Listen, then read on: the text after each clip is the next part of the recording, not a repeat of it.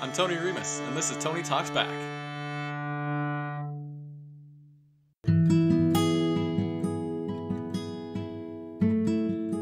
In the last episode, we talked about existentialism and the idea that existence precedes essence. In this way of looking at the world, we are born prior to having an essential character. There is no purpose necessarily assigned to our lives, no meaning, no fundamental part to our being or soul at all, except for that which we give to them ourselves. It seems like a rather bold anti religious attitude to take. Friedrich Nietzsche certainly took that direction, as we discussed in his conflict with the church. Nietzsche believed we should focus on matters of fact of what we know to be reality, rather than the religious teachings and promises of other men in the supernatural. His concept of the Übermensch is someone who has risen beyond the search for meaning in the afterlife and has instead chosen to find meaning in the world. However, though it may contradict the teachings of religious institutions, the Danish existentialist philosopher Soren Kierkegaard thought the attitude of existentialism to be in fact the beginning of faith. Now, Kierkegaard was something of a tragic hero, though he probably would have laughed if you called him that. He was born to a rich family, but he grew up in the shadow of the deaths of his brothers and sisters. Kierkegaard's life was doomed to suffering up to and probably including the day he died fairly young at 42. But as Kierkegaard undoubtedly understood, it is through his own, and by extension our own, suffering that we become who we are. Kierkegaard traveled dark and terrifying avenues of thought in his own mind, exploring the possibilities opened up by the existentialist idea, and finding a world of freedom outside the imagination of practically anyone growing up in the Western Abrahamic religious tradition. What he found there he called angst, a word which has become synonymous with existentialism itself, and describes the state of not knowing why you feel anxious, but feeling anxious regardless when faced with the possibilities of life. And existentialism may be the ultimate expression of angst. In his work, The Concept of Anxiety, Kierkegaard used the metaphor of a man standing on a cliff to represent the feeling of angst. I like to imagine the painting Wanderer Above the Sea of Fog by Caspar David Friedrich. It's a beautiful painting of a man with his back turned to the viewer, gazing out into an obscure and hidden world. You have two choices when standing on the precipice of the Wanderer either back away or throw yourself into the abyss. Now imagine an infinite sea of possibility awaiting your departure from the cliffs of everything you've ever known. That's angst. There are no correct answers here, no one to tell you what to do. Because once you've reached the existentialist cliff, you are utterly and completely alone. It's a journey much like death that must be taken with your soul consciousness in tow. The picture Kierkegaard painted of absolute and utterly personal freedom is an existential threat to the dominance of the institution over thought itself. Kierkegaard challenged the contemporary Christian church of his time on many grounds, but what struck to the very core of Christendom was his concept of the leap of faith. If you'll remember, in embracing the attitude that life has no inherent meaning, we set ourselves up for the first time in our lives to experience true, terrifying freedom. When we're on the edge of the cliff, meaning can be whatever we want it to be. What if, in spite of the universe's indifference, we choose to embrace God, in whatever form?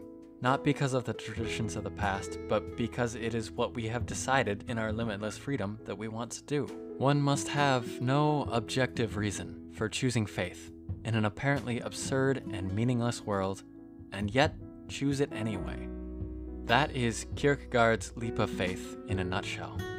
To relate this to the typical religious institution, even of today, let me digress for a moment into my personal life experience. Despite my coming from an overwhelmingly Christian upbringing, faith has never entered into my thinking as a subject or mode of being for philosophical inquiry.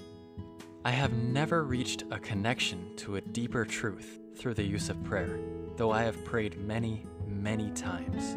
I've observed such strange and interesting behavior arising from prayer that I don't know if the secret truth of the universe just missed me, or that the power of psychology to create these otherworldly and incredible experiences people report is not something I possess. I have seen others speak in tongues, report miraculous healings, and generally enter into what I can only describe as a completely different way of being in the world. I was told that these things are real, that if I pray, God will hear me, and that I must believe in God or else.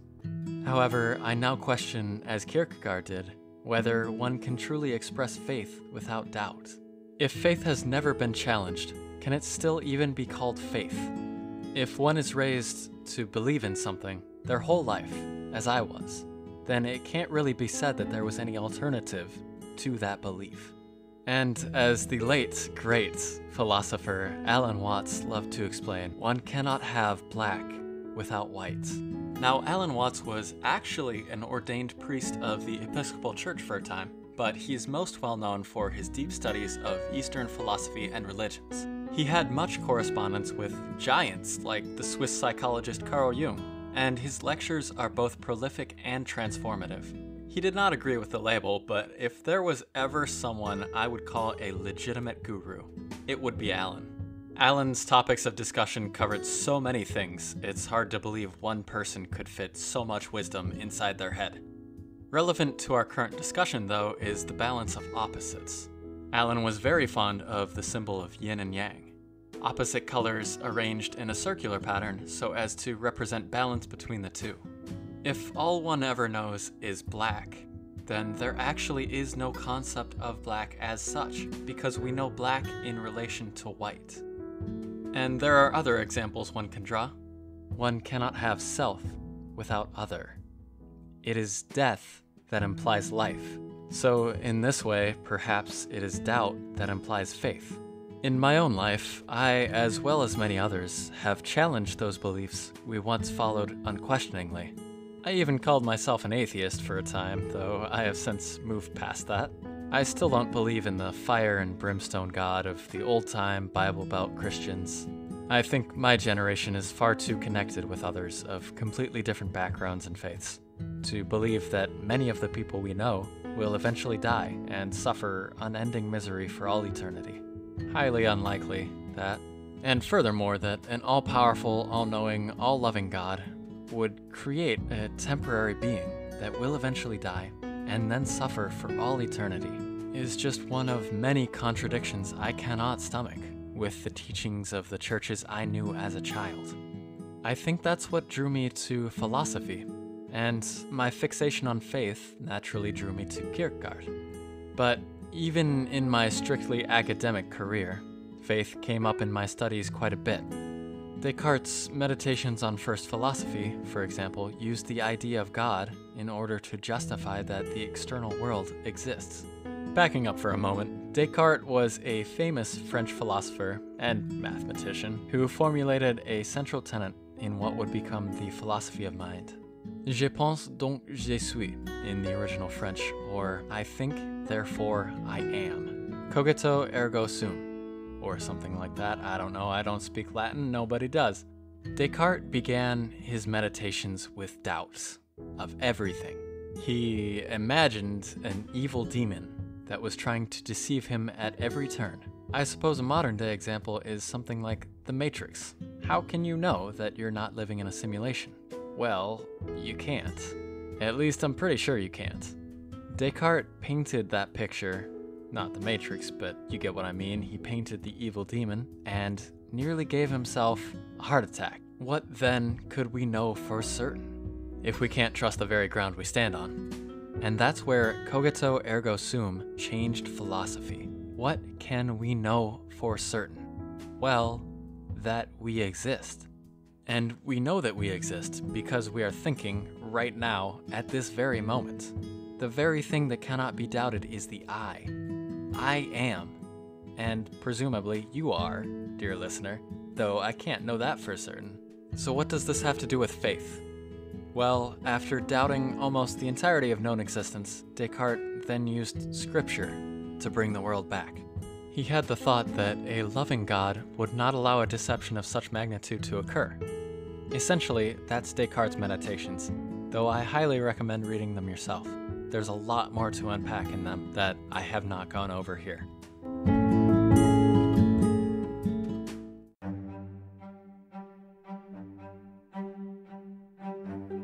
Now that I've told you about Descartes, let me explain why I did so. I think arguments like Descartes' that use faith as an axiom are interesting in their own right. But though some disciplines take God for granted, as in much of theology, In the discipline of philosophy as such, nothing can be assumed. All things, even very basic assumptions like murder is wrong, must be argued for and defended against from critics, and in this way the discipline of philosophy moves forward. As crazy as it may seem to an outsider, the idea of God itself must be proved. However, modern philosophy is not intended to be sacrilegious. I personally think that a God that created us would be flattered that their creation is capable of the discipline of introspection at all. It's a remarkable accomplishment, all things considered, a plus for the human project. For example, a well known argument for God comes from Aristotle's Metaphysics. Aristotle is a legend. He was known as the philosopher in Western tradition. It was my absolute pleasure to study Aristotle and others under Professor Paula Gottlieb at the University of Wisconsin. Professor Gottlieb is one of the foremost scholars on Aristotle in the entire world. My only regret is that I didn't have more time to spend learning from her. Uh, This won't be the last time I speak of Aristotle, I promise. Aristotle's prime mover argument for the existence of God starts with the observation in our physical world that everything must have a cause. Because our universe works according to the laws of cause and effect that we can observe. Aristotle was very science oriented. Uh, he got a lot of things wrong, but he helps develop the scientific method that we see even today. We observe in everyday life that one thing causes another, causes another. But how did it all start? A system cannot logically cause itself. A self causing system would have a circular justification, insofar that the end causes the beginning, and vice versa. Practitioners of formal logic reject circular reasoning because it's not useful. If you've ever heard this exchange, it might help you relate. The Bible is the holy word of God and cannot be wrong. Why? Because it says so in the Bible. That is just one of many examples you can find if you pay attention. It's more than silly, it's a logical contradiction. There's something intuitively wrong with circular reasoning. And if there cannot be circular reasoning, and if there cannot be no cause at all, there must therefore be a first cause, an unmoved mover. This is taken to mean God must exist as the first cause. That argument may seem familiar if you've ever debated faith with an evangelical. It's one of many proofs offered to devotees to use as tools against the doubters. However, I object to Aristotle's argument. Even with our modern physics, it's not clear at all that time must move linearly forward from beginning to end, and that cause and effect always go cause to effect. Certainly, we experience time linearly forward. Although, thinking about it now, we can actually only ever experience the present moment. Off topic. The point is, strange concepts in science fiction like stable time loops, where the end causes the beginning and neither one came first, are at least plausible. And the fact that they are plausible may either mean something or nothing depending on who is doing the philosophizing. If you followed all that, you may yet be unconvinced that God exists, even though there must be a first cause if Aristotle's argument is sound. Most arguments for God are in some way unsatisfactory, like Aristotle's first cause argument. I personally would think that an argument for God that is actually compelling would be one that is absolutely incontrovertible. As for using faith, the idea of God, or some other hat trick when it hasn't been previously used in the argument, I think it's entertaining, but ultimately not the philosophy I'm trying to access. Despite the attempts of previous arguments, the existence of God has never been logically proven. I want to make it clear, though, that a proof of God's existence would be a wonderful thing to have. Certainty in the afterlife would probably forever eliminate pessimism and nihilism from the earth. But I am not nearly wise enough to tackle that seemingly impossible challenge. And because it hasn't been done, any arguments involving God as a premise are predicated on unproven assumptions. These are, of course, undesirable in philosophy. They are axiomatic weak points, and if one wants to poke you in the axioms, one need only find such a weak point. And despite everyone's efforts to prove God, if such a proof were to succeed, then the concept of faith in God would have to be taken out back and shot dead. One cannot have faith in something that they also know to be true. It would make every suburban mom's aesthetic faith decorations utterly pointless. And for anyone that thinks faith is the ticket to heaven, congratulations on the eternal damnation of your soul. To sort through all the confusion I've just thrown at you, let me explain a useful distinction by Alan Watts between faith and belief.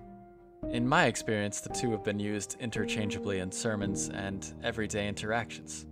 But belief for Alan was a positive account of what you think will happen. I believe that X.